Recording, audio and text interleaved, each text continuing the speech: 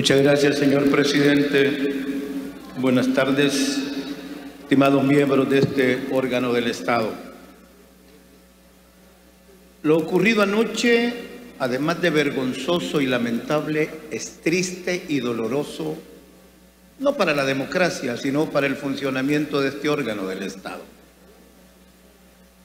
No sé dónde iremos a parar, pero hablaba con dos hombres de armas en el pasado reciente que aquí están como diputados. Y digo, ¿dónde iremos a parar si un aparato telefónico con un mensaje nos hace correr, como sucedió anoche?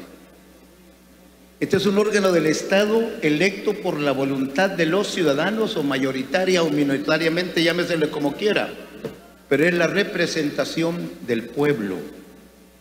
Y no es posible que un pinche teléfono y un mensaje nos hagan correr, producto de la irresponsabilidad y del irrespeto contra una mujer salvadoreña.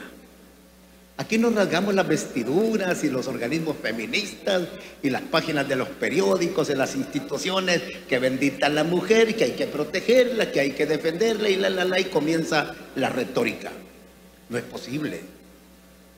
Pero tampoco es posible que los parlamentarios de algunos partidos políticos hayan salido huyendo anoche como que los iba siguiendo el demonio.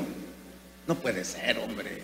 Si aquí estamos para legislar, estamos para trabajar y no para detenernos por una amenaza. Se agradece el gesto que hayan mandado el camión para hacer las pruebas esta mañana. Pero ese camión mejor debiese ir a los centros de cuarentena donde, como ayer, el ingeniero de Corinca que fue enterrado, que llegó bueno y lo sacaron muerto. Esos son los hechos tristes y lamentables que hay que verlos con la seriedad que el caso amerita. Pero si vamos a seguir en este zipizape, yo creo que es hora de que los 84 diputados y los partidos que integran este pleno legislativo pongámonos serios, firmes y congruentes no podemos salir huyendo con el simple estallido de un cohete. No es posible.